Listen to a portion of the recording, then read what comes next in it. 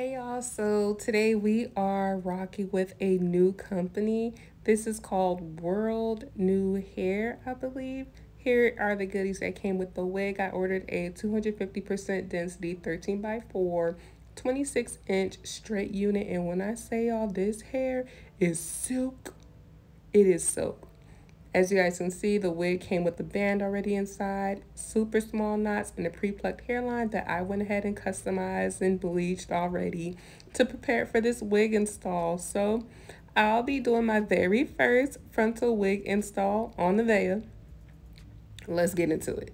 So I wanted to um, do a buss down the middle, of course, my favorite hairstyle to see on anyone.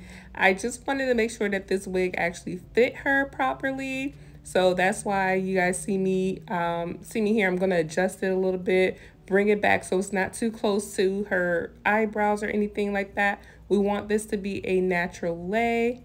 Now for me, I am not a frontal wig wearer. I prefer lace closures because of convenience. That's just my thing.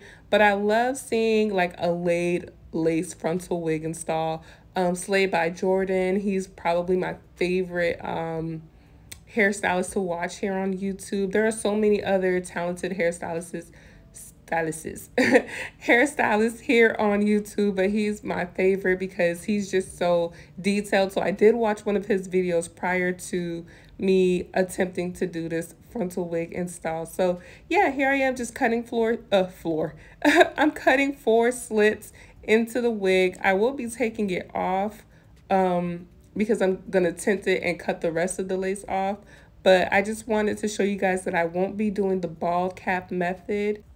In the following clip, you'll see exactly why. But um, I'll get back into doing ball caps when I master doing frontal wig installs. But for this install, I won't be doing a ball cap method. So yeah, I'm tinting the lace using um, some Ruby Kisses foundation. And yeah, I'll be using lace wig tape to install this wig. So no ball cap was necessary because the tape is going to keep the stocking cap from sliding back. So I went ahead and I cleaned her hairline with some alcohol just to get it ready. And as you guys can see, while I'm laying that tape down, I'm kind of rubbing it into her skin and that's only to get the tape warmed up and activated. So I use my pinking shears to cut off that excess lace and get it ready for for the install.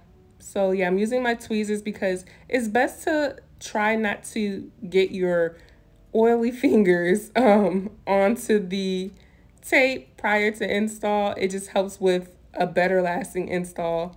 Um, and I'm over here touching the tape with my oily fingers like it's nobody's business. But I am using some of my holding spray just to activate the tape a little bit more. And I just want to see how well my products work with this tape since I am trying it out um, before adding it to my line of products. So yeah, as you guys can see, once I laid that lace onto that tape, it it literally laid like immediately it laid. Now I didn't use any tape on to um onto the temples of her head because I just didn't want to risk any hair loss there.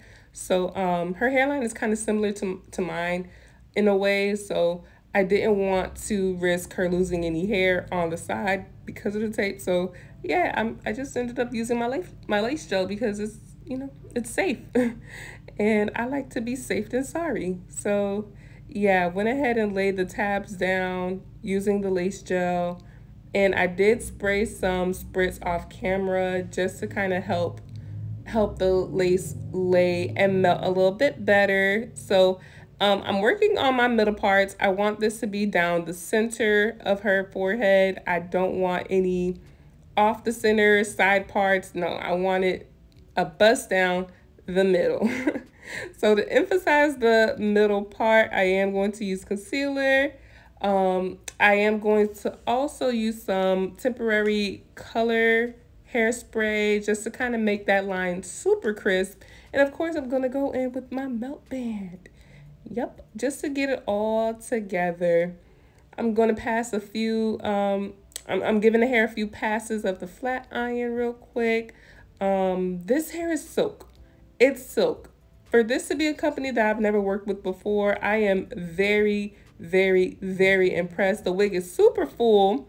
The hair did not shed or tangle even days after this install. She was just telling me how much she loves this hair. So if you're in the market for a wholesale vendor, definitely hit them up for your wigs if you're in that business.